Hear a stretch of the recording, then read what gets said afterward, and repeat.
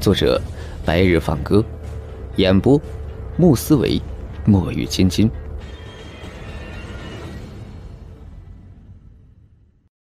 第三千零八十五集，聊聊火麒麟传承者。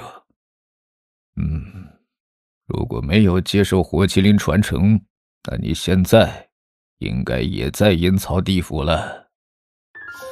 牛头这话一出口。欧阳眉毛一挑，想了想说：“牛头先生，你的意思是说，如果我没有接受火麒麟传承，那我的阳寿便是已尽了？”嗯。牛头点头，随后再度把杯中酒一饮而尽。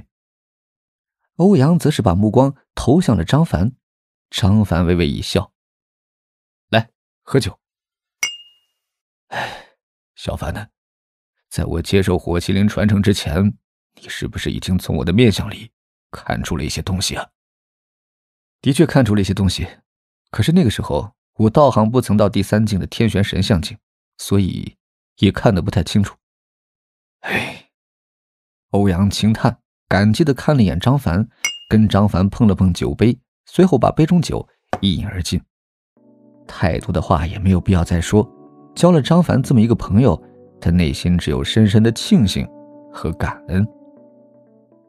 牛头先生，他儿子的情况你能看得出来吗？张凡望向牛头，他想趁这个机会尽可能多的向牛头打听一下关于欧一诺的事。牛头听了，饶有深意的看了看张凡，哈哈，想套我的话呀？张凡同样笑了笑，随后坦率的说道。不知能否稍微透露一下？这个嘛，还是不跟你透露了，你们自己慢慢查吧。见牛头守口如瓶，张凡无奈，只能咂巴咂巴嘴巴说：“行吧。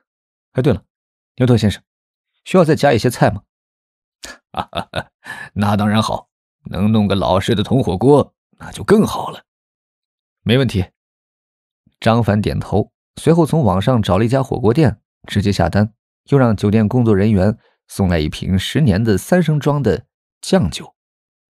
二十分钟左右就可以送过来，没什么着急的事吧？没事，今天时间充裕，可以等。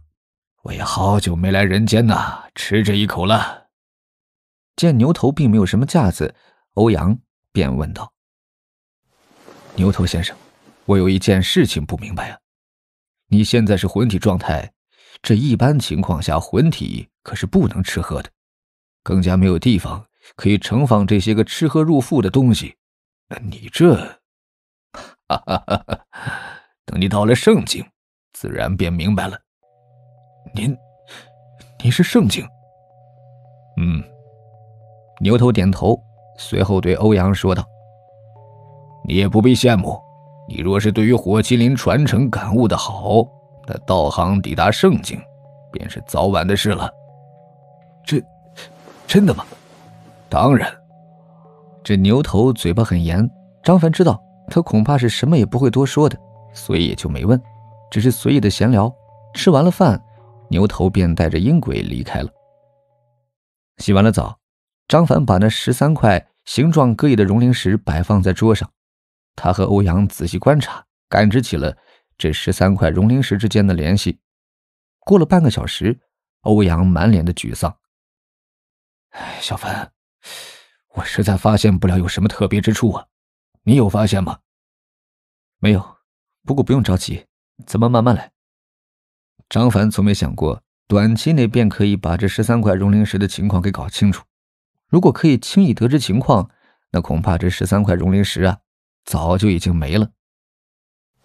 行了，今天时间也不早了，咱们早点休息，明天出发。第二天一早，二人便出发去往华山。华山，古称西岳，雅称太华山，为五岳之一，位于西省华市，在省会长安以东一百二十千米处，南接秦岭山脉，北看黄渭，自古以来便有“奇险天下第一山”的说法。华夏之华源于华山，由此华山便也有了“华夏之根”之称。华山是中国道教主流全真教派圣地，为第四洞天，也是华夏民间广泛崇拜的神奇，即西岳华山君神。有七十二半悬空洞，道观二十余座，其中玉泉院、都龙庙、东道院、镇岳宫被列为国家重点道教宫观，有陈抟、郝大通、贺元熙等著名道教高人。如此背景的华山有些个宝贝，有些个秘密，倒是非常的正常啊。上午十点钟，二人便到了华山脚下，这里遍布着农家院和酒店。二人把车子停在了一个名叫“华山大酒店”的酒店门口。张凡正想下车，手机忽然响了，是方浩明打的。喂，浩明啊，凡哥，我从宗门里面出来了，你现在在平山吗？我想去看看你。好，我在华山呢。啊，好吧，我本来还想找你喝一杯的。哎，凡哥，你上华山干嘛呀？我从我们宗门的资料里看到过一些关于华山的情况，你需要吗？哦，说说。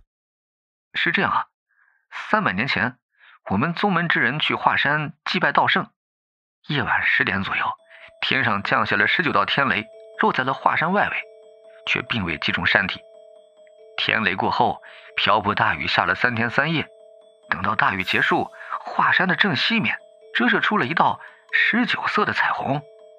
十九色彩虹，你没搞错吧？不可能搞错的，我仔细看了很多遍呢。好吧，那然后呢？然后，呃，就没有然后了。那计数就到此为止了。方浩明有些不好意思。张凡则说道。行，我知道了。等回去以后，我联系你。等张凡挂断电话，欧阳说道：“这十九色彩虹，我可是第一次听说啊。小凡，你说这十九色彩虹会不会和那十九道天雷有关呢？有这个可能。走吧，先到酒店开个房，把东西放下，然后就上华山去转转。嗯，好。两人下车。通过酒店前台开了一间套间，正想转身向电梯口的方向走时，身后忽然传出了一股倒气来。张凡两人回头一看，迎面走过来一名三十多岁、表情严肃、留着分头的男子。此人实力第二境第六段。本集播讲完毕，感谢您的收听。喜欢的话，请记得点赞留言。